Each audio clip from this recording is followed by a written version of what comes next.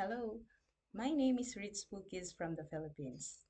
I currently work as a public school secondary teacher at the Department of Education where I specialize science. I hold a degree in secondary education, major in physical science, which I took at Pangasinan State University.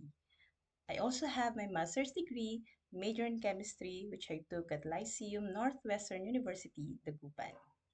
I already have eight years experience in teaching at a public school here in the Philippines. Thank you.